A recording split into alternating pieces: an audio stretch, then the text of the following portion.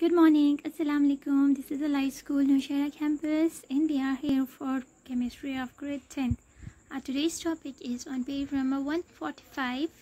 It is ozone depletion and its effects. But first of all, we should know what ozone is. So let us write down what ozone is, right? So ozone is an allotropic form of oxygen. Which form of oxygen?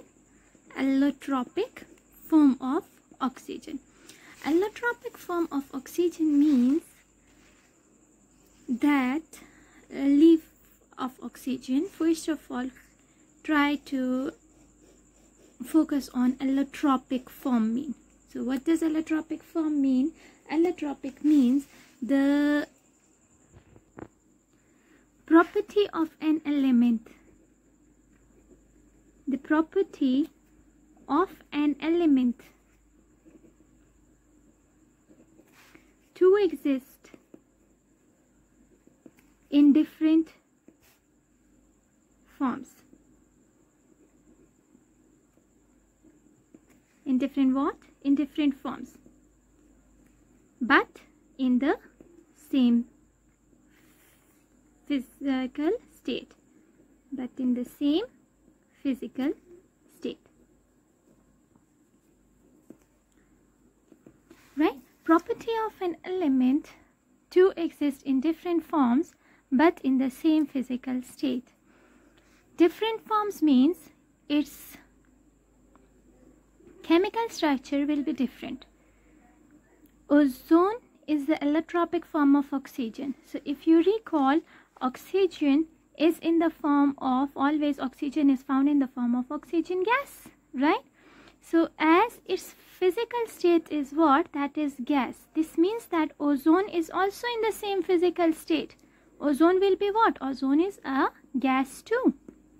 But it is different in its structural form. That is oxygen gas is made up of two oxygens they are doubly bonded together and their structure formula is linear right?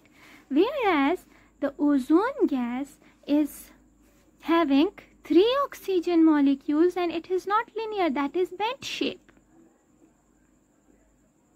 Like this? So as there is double bond this means that there is more attraction between these two oxygen gases because of the double bond. So they are quite close to each other as compared to them. When they are quite different uh, far from each other so a positive charge will come over here, here it and a negative charge will come over it right? Similarly some studies also show that it's not important that this double bond will exist only in these two oxygen but it can this is a resonating structure but it can the double bond can also be over this side. That is O double bond O single bond O and now where will be the positive charge? Of course on this oxygen whereas negative will be over there and study says that we cannot identify when the double bond is at left hand side oxygen or at right hand side oxygen. So for that purpose the structure of oxygen ozone is usually drawn as O single bond O, O single bond O and there is a dotted structure between them like this right? Which shows that there is a double bond which sometimes is here and sometimes it is there and then we do not show any uh, charge over here. So ozone and oxygen have different structure formula. That is why this is the allotropic form of oxygen. I hope the definition is clear to you. Now coming towards some properties of ozone they are mentioned on your page number 146 so over there they say uh, first is occurrence. So we all know that ozone exists from 12 to 30 kilometer from the surface of earth. That is above troposphere right? So above sorry 11 to 30 kilometer. Above troposphere means in the phase of uh, and that is why we can also call it as ozonosphere right? And this is bluish gas light blue gas or we can also say pale, pale blue gas. Pale blue gas means light blue gas. It has a characteristic smell. Characteristic smell means a typical type of smell from which we usually know that yes this is the zone. And what is that smell? That is an irritating irritating smell which no one can bear and the other thing that how do it is soluble where is it soluble? Can we sol uh, dissolve it in uh, water? So yes in water it is soluble. And we can also say that it is soluble in turpentine oil in glacial acetic acid. Glacial acetic acid is your ethanol CH3OH uh, C2H5OH right?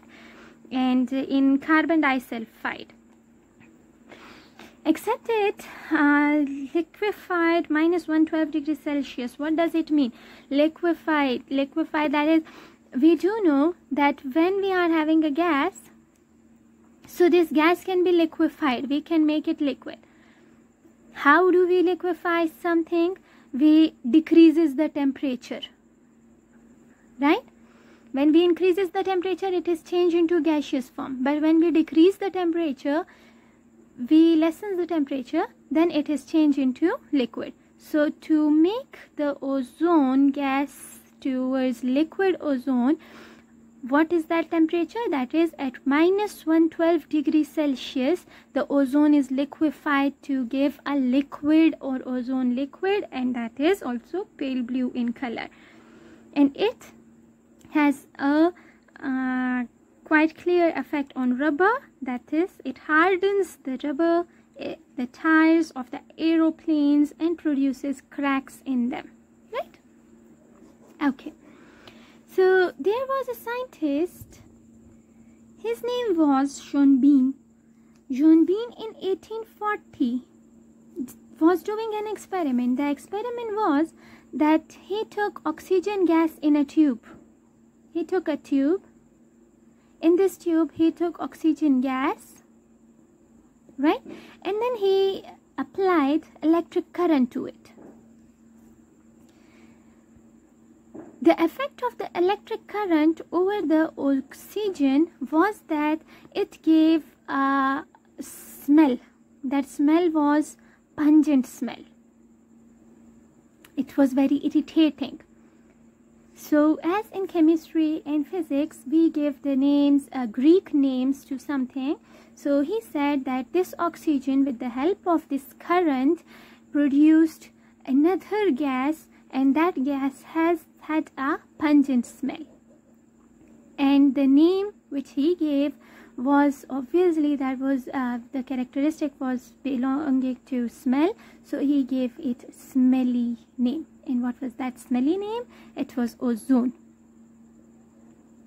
Ozone is a greek word derived from ozoator right? And this ozoator means smell right? So because of the irritating smell uh, John Bean gave this gas the name which name?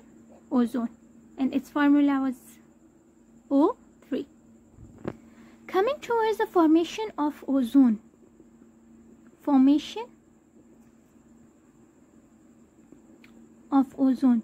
So if you remember we discussed it in detail and the detail was that oxygen gas in the air when it gets UV radiation and when it has been hit by UV radiations from the sun this oxygen is dissociated into radicals or oxygen radical 1 and oxygen radical number 2 and then what happens? This oxygen radical as it is radical so it is quite reactive it will react with another oxygen molecule of the air of the atmosphere and thus it will give out ozone. Similarly, the other oxygen uh, radical will react with one other oxygen molecule and it will give ozone. So if you look over here, 1, 2, 3. Altogether 3 moles of oxygen gave how many ozone? 1 2 2 moles of ozone. Right? So this is how we derive the equation or we derive the reaction that is a balanced reaction is here. 3 2s are 6 altogether 6 atoms of oxygen are here. And 3 2s are 6 altogether 6 oxygen atoms are here. But this is one allotropic form of oxygen having and being composed of only two oxygen whereas this is other allotropic form of oxygen being composed of three ozone uh, three oxygen atoms this is the uh, sketch given at page 157 from where if you see this is sun. Sun is giving its uv radiations out. Step 1 step 1 uh, it's oxygen molecule. This oxygen will be dissociated into two oxygen atoms. Step 2 this oxygen atom and oxygen molecule from the atmosphere will react together. They will form 3O3 right which is ozone. And over here if you look that is that ox uh, oxygen atom will react with this oxygen molecule of the air or of the atmosphere and it will give out what? That is another ozone molecule right? So this is how ozone is formed in the atmosphere. As now i hope uh, ozone and ozone layer and ozone formation is quite clear to everyone. So what i think that is that we should know what is the concentration of ozone in the ozone layer or in the stratosphere right? In your book they have written that the maximum concentration of ozone in the stratosphere is 10 ppm. 10 ppm ppm means parts per million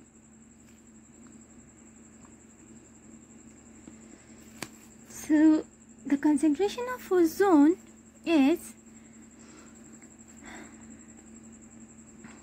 1 by 1 million. 3 4 5 6 right? So that is 10 million.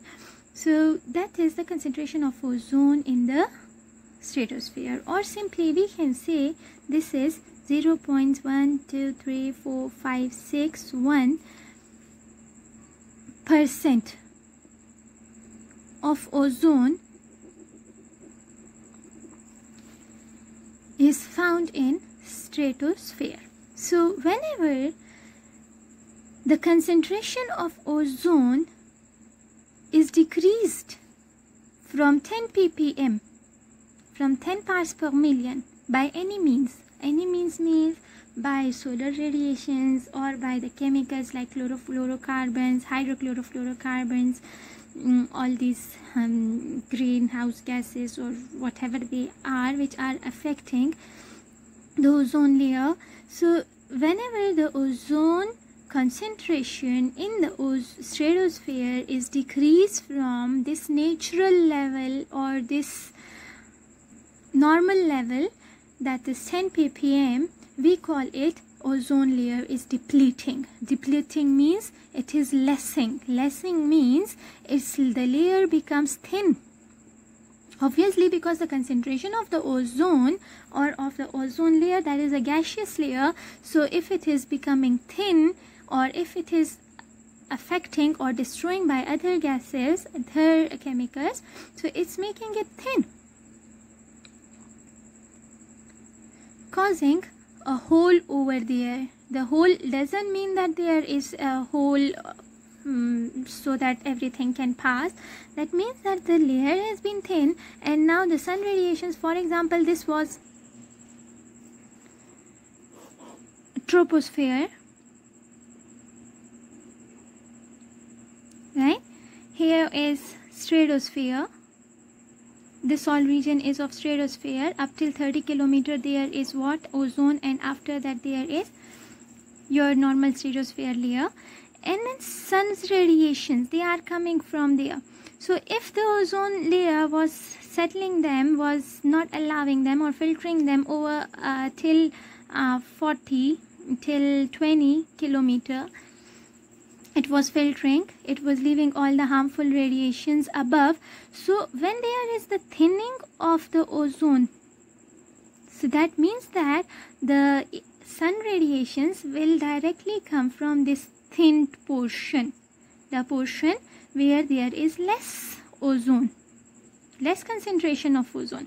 So sun radiations or ultraviolet radiations can be easily reached to the troposphere and to the earth's surface obviously so that the life, the biotic system of the troposphere or of the land or of the uh, aquatic system will be affected because of what? Because of this depletion or this depleting system of ozone. So this thin layer of the ozone allows more ultraviolet radiations to reach to the troposphere or to reach to the earth's surface. And this layer is then known as ozone hole right? Okay. So that portion is then known as ozone hole. Now what are the causes of ozone layer depletion the causes of ozone layer depletion means that what are the factors which are enhancing or which are increasing the ozone hole? Causes of ozone layer depletion. So number one as we all know they are what? They are chlorofluorocarbons. Chlorofluorocarbons being released from from what from our acids and except them we are having hydrochlorofluorocarbon which is released from vehicles. Except that we are having volatile organic compounds uh, which are also released from industries and from vehicles. So all of these what is actually the case? The case is that they are stable in our atmosphere. They are stable in troposphere. But as the gases have uh, in troposphere but as the gases have the ability to go up or to move far from each other what happens? Why I said that is they are stable at in troposphere. So there is no uh, harmful effect observed of these gases in this layer in this zone. But actually what happens that this property that all the gases reach to the upside that is because of uh, lower density or whatever is the case. So what happens when they uh, come to the region of stratosphere? So the direct radiations or the more concentration of solar radiations of UV radiations hit upon them.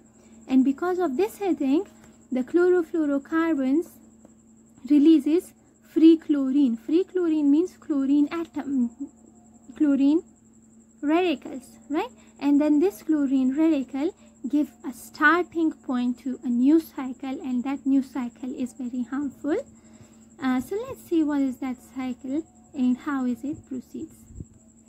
So it's on your page number 148 look over here. This is sun uv radiation what happens? That this sun radiation at the stratosphere or at the top uh, layer of uh, troposphere. What happens? This is your chlorofluorocarbon. It will affect it will remove one chlorine from it. So this chlorine will attack on ozone or O3 molecule. So as it was chlorine radical it will attract one oxygen from it. Because ozone is an unstable form. Just keep this thing in your mind. Ozone is less stable as compared to oxygen so it reacts readily right? So chlorine will pull one of the oxygen towards itself and then it will form chloroxide in an oxygen molecule. So this chloroxide is also not stable so it will remove that oxygen or ozone oxygen radical right so this oxygen radical will now um, is now free whereas this chlorine is now available to attack or to pull another oxygen atom from ozone. And similarly this free oxygen or this oxygen radical it will be now allowed to attack on uh, the what from this chlorine monoxide this is monoxide one oxygen right and then it will form another oxygen molecule. So that is your oxygen molecule and the chlorine is left behind. And this chlorine will now come over here will attack over other. So it is starting it has started one cycle. There are now two more chlorines left. These will start another two cycles too. Now let's look how ozone is depleted by NOx. NOx means oxides of nitrogen. They may be nitric oxide, both are 1 1 in uh, ratio. Nitrogen, this is N2O, that is nitrous oxide or dinitrogen oxide, or nitrogen dioxide, right? So all of them are NOx and NOx can affect what NOx can affect the ozone to be depleted. So the reaction being if you look at your book that is nitric oxide when uh, it is in the trophic level or in the tropospheric zone it is stable but when it goes to higher states that is stratosphere what happens there are uv radiations when uv radiations hit upon nitric oxide or sulfur oxides. What happens?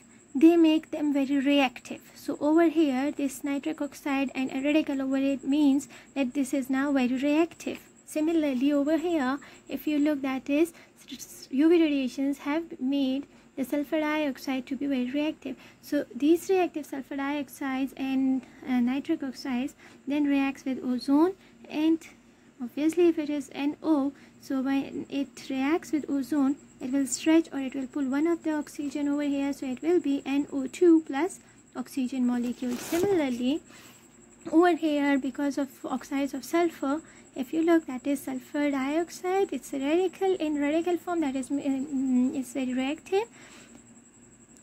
And by reacting with ozone in the presence of sunlight it becomes more reactive and SO2 plus 1 ozone will be pulled from uh, 1 oxygen will be pulled from ozone. It will make sulfur trioxide plus oxygen gas. And then the uh, same this oxygen gas now this is oxygen gas. So as it is in stratospheric level what happens that because of those sun radiations it will be depleted in that is oxygen it will be depleted in two uh, ozone radicals. These ozone radicals are also known as nascent oxygen or oxygen radicals sorry. So these oxygen radicals are also known as nascent oxygen. Nascent oxygen means newly formed oxygen right? So this newly formed oxygen then again reacts with ozone. They will form 2O2 molecule uh, oxygen. Alright, you have to read on effects of ozone layer depletion. That is, it affects skin, it affects eye, it affects immune system, as well as aging of the skin, amphibians, marine life, plant, animal life, and materials. So all of these things are um, here in materials. If you look, that is that the plastic materials. Uh, we read it already that ozone uh, can damage or bring cracks in the plastic so this means that uh, for it's not good for the tires of the aeroplanes as well. So that's all for today. Please read uh, all of the lecture in your book in detail. And wherever you felt any difficulty please do ask. Have a good day ahead. Bye bye take care